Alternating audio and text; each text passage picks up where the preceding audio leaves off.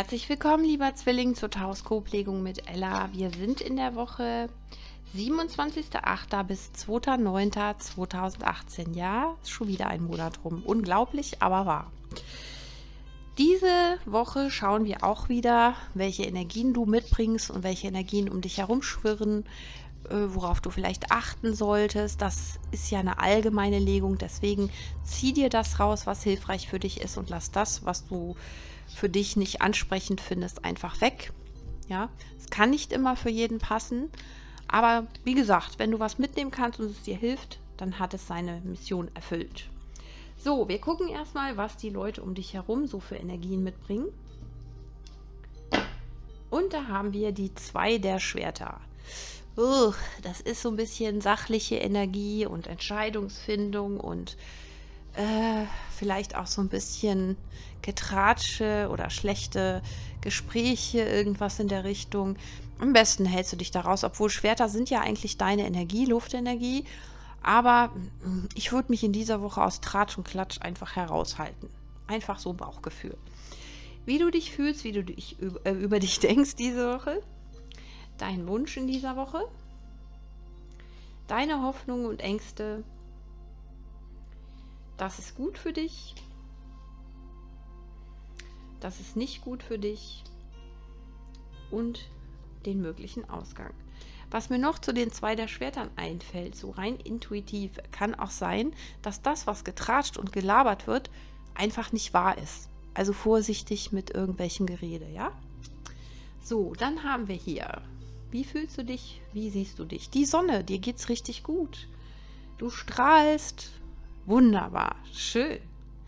Was wünschst du dir dann dann in dieser Woche? Die neun der Münzen, Unabhängigkeit, Freiheit, Stabilität, Sicherheit.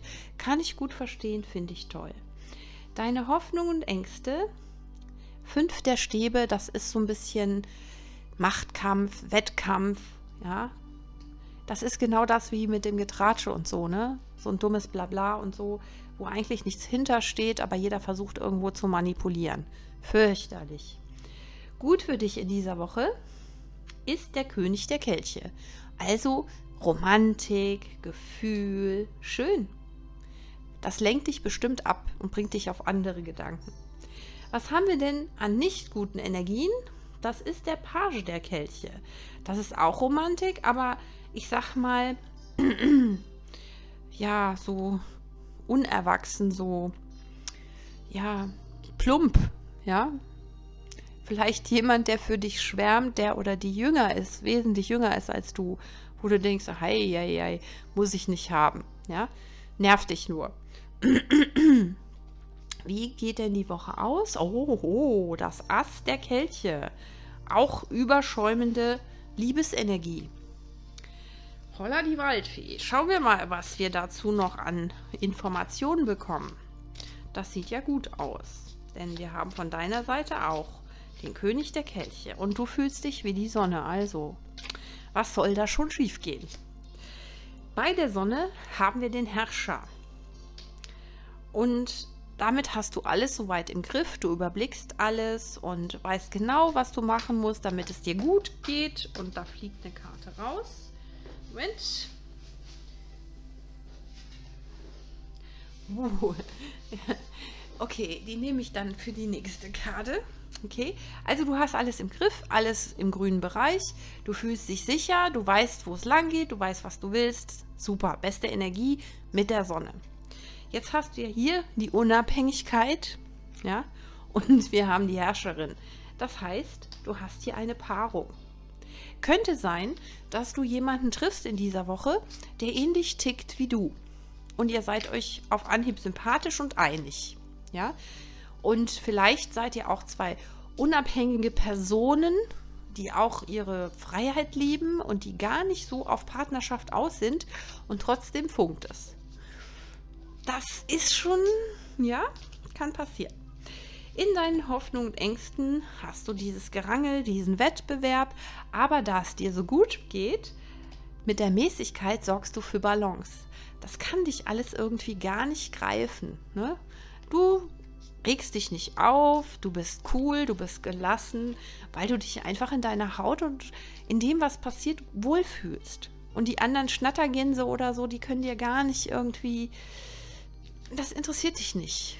Du hast Wichtigeres zu tun. So fühlt sich das halt an. Ja. Dann haben wir ja hier den König der Kelche. Oh, Und die Welt. Ein Neubeginn. Ich glaube, da hat's gekracht. Aber ge ganz gewaltig. Schön. Herrscher und Herrscherin. Sehr schön. Jetzt haben wir noch eine junge, dynamische Energie mit Romantik. Vielleicht jemand, der auch für dich schwärmt, der vielleicht dazwischen funkt. Und das ist jemand, mit dem du dich auf Augenhöhe triffst. Steht aber auf der Position nicht gut für dich. Könnte jemand sein, der dir nahe steht. Muss jetzt kein Liebhaber, keine Liebhaberin sein, sondern Freund, Freundin, Familie und so weiter, äh, die dir im Moment so ein bisschen, wie soll ich sagen, die Zeit stehlen, um dich um das zu kümmern, was du eigentlich machen möchtest, nämlich diesen Neuanfang. Ja, also könnten sich vielleicht auch deswegen ein bisschen vernachlässigt fühlen. Also kurze Erklärung dazu geben und sagen, pass mal auf, so und so. Ja, und alles klar. Deswegen auch der König der Schwerter. Du sagst ganz klar, Leute, ich bin verliebt, wenn das so ist, wenn du jemanden getroffen hast. Ich muss gucken, ich muss das leben, ich muss das genießen. Ja, ist deine Energie Schwerter? Ja, und ja, genieße es auch. Ja, lass dich ruhig mal fallen. Natürlich Kennenlernzeit, erstmal beschnuppern, erstmal gucken. Freundschaft erstmal schön langsam angehen lassen, nicht zu schnell übers Ziel hinausschießen, dann ist das vielleicht nur wieder so eine kurzlebige Sache. Also schön höch, langsam, ja? Lasst euch Zeit. Denn die Zeit, die ihr euch kennenlernt, werdet ihr nie vergessen. Ja, und deswegen solltet ihr die so lange wie möglich ausdehnen. Aber gut. Und wir haben die Karte Sorgen. Ja, ich lerne, dass Sorgen die Dinge nicht zum Besseren wenden. Ja, wenn ihr euch Sorgen macht, wie das Ganze ausgeht und so, dann könnt ihr den Moment nicht genießen. Das wäre dumm. Ja? Also, gucken wir mal, was haben wir denn da? Ich lese vor. Sorgen haben keinen sinnvollen Zweck, allenfalls geben sie dir ein falsches Gefühl von Kontrolle. Also vergiss es, dass du irgendwas im Bereich Gefühle unter Kontrolle haben kannst. Wenn du dich zu sehr mit Sorgen plagst, schränkst du deine eigene Bewegungsfreiheit ein und schadest der natürlichen Energie deiner Seele. Lass es sich entwickeln, wie es sich entwickelt. Sorgen untergraben Hoffnung, Vertrauen, Begeisterung und so vieles Schönes mehr in diesem irdischen Klassenzimmer. Denke immer daran, du bist, was du denkst, und es ist dir gegeben, aufbauende Gedanken zu pflegen, die positive Wirkungen nach sich ziehen. Sorgen sind negative Gefühle und Gedanken, die zu nichts Wünschenswertem führen. Welche überflüssigen Sorgen schleppst du heute wieder mit dir herum? Betrachte sie einmal objektiv und mit den Augen der Liebe.